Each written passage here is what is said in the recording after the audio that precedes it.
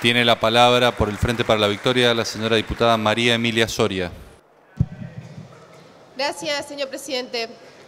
Señor presidente, como no podía ser de otra manera, esta ley de leyes es sin lugar a dudas el esqueleto de este plan de gobierno de ajuste y de endeudamiento. No es el presupuesto de la gente, no es el presupuesto del crecimiento del país, ni siquiera de las economías regionales, ni siquiera de la industria argentina. Es, sin lugar a dudas, el presupuesto de los amigos del gobierno, del servicio de la deuda, de la chique, de la distribución inequitativa de la riqueza, definitiva de la mentira. Yo escuchaba a algunos diputados propinantes hablar de que antes la ley de leyes, que es el presupuesto, era una engaña pichanga, dijeron. Muy gráfico, a mí me gusta ser gráfica también. Pero déjenme contarles un ejemplo. El año pasado se votó el presupuesto 2017 que incluyó una partida especial para la ampliación del tren del Valle, tren del Valle que es, pasa por toda mi provincia, perdón, casi la mitad de mi provincia, un tren importantísimo. Se votó la partida especial, ansiosos, esperamos que se amplíe el ramal y sin embargo el jefe de gabinete acá en una de sus visitas nos dijo que no iba a ejecutar esa partida pese a haber sido votada porque no representaba una inversión estratégica para mis vecinos. Nos dijo también en esa visita que esa plata se iba a destinar a la provincia de Buenos Aires. Quizás los vecinos de la provincia de Buenos Aires sean más importantes que mis vecinos renegrinos. Pero bueno, en definitiva, señor presidente, déjenme decirles entonces, podemos votar, podemos discutir, pelearnos por un peso más, un peso menos, pero en definitiva será la potestad del Poder Ejecutivo y los vecinos clase A o clase B los que ganen en este caso mayor o menor presupuesto, señor presidente. Lo que sí estoy segura es que pudimos corroborar que la revolución de la alegría y la lluvia de inversiones son falacias, claramente. La pifiaron en el cálculo de la inflación, va a cerrar seis puntos por arriba de lo pronosticado en 2017.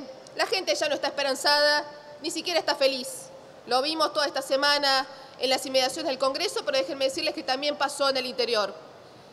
Pero sí, señor presidente, tengo que reclamarles, porque pese a que el gobernador de mi provincia fue arrastrado de las pestañas a sacarse una foto con Macri, con Frigerio, se ve que no tuvo tiempo el gobernador de mi provincia en reclamar más presupuesto para la Universidad Nacional del Comahue.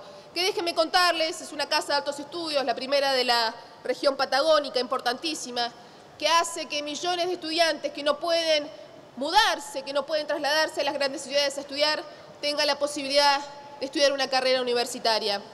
Esa importante universidad recibió un recorte del 37%, pese a los reclamos de las autoridades, de los docentes, míos también, no hemos logrado que en esa famosa planilla B que está corriendo en este momento se haya incorporado, ni siquiera considerado esta universidad que es tan importante. La fruticultura, bueno, todas las economías regionales, estuve hablando con varios diputados del interior, creo que con este presupuesto sin lugar a dudas le dan el tiro de gracia a todas las economías, incluida la fruticultura. Esto, señor presidente, es una olla a presión. No lo digo yo, yo soy abogada, no sé de números, pero la noche lo escuchaba, por ejemplo, un economista que hace poco tenía la cara pintada de amarillo y ahora está dudando un poco, Juan Carlos de Pablo, dijo textual, sentenció que así como vamos, chocamos. Me pareció muy gráfico y me encanta la gente que es clara y gráfica para hablar. Que la inflación no está bajando, también dijo. Otro similar, José Luis Esper, también dijo que la deuda, y esto refiriéndose al nivel de endeudamiento que tiene nuestro país, la deuda ya se está pareciendo al 2001. Yo la verdad, señor presidente, apelo a que se recompongan los números. La obra pública para mi provincia Río Negro es calamitosa. El Río Negrino, mi vecino, no es tonto. Sabe que hace dos años mi provincia no tiene obra pública. Ya no se hacen viviendas, no se hacen hospitales y no se hacen escuelas.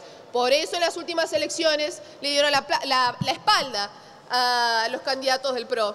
Porque no son tontos. Sencillamente por eso, porque saben lo que había antes y lo que tienen ahora. Respecto del INTA, todos los diputados del interior reconocieron la importancia que tiene el INTA. Sin embargo, se esmeran por hacer un brutal recorte que sin lugar a dudas afecta a nuestras economías regionales, principalmente a la fruticultura.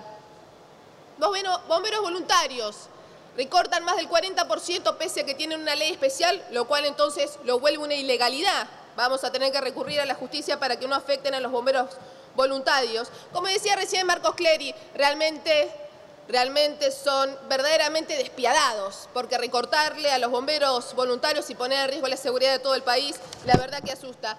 Ya termino, señor presidente, sencillamente decirles que algo que me llamó la atención, que dijo recién un diputado de Jujuy, que volvió la tuberculosis después de muchos años de haber sido erradicada.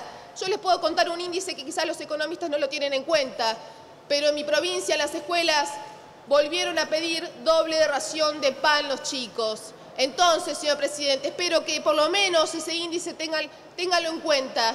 Volvió la pobreza, señores, y tienen que empezar a hacerse cargo. Nada más, muchas gracias. Gracias, señora diputada.